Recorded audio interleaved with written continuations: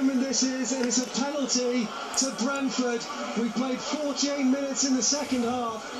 What a nervous moment this is for Trotta. He steps up, he's hit the bar, he's hit the crossbar, and he's missed it. There's a right old scramble in the six-yard box, and it's cleared away by Doncaster, and it's cleared away to the halfway line, and the break is on, and Billy Paynter's on the edge of the penalty area, and he can win promotion.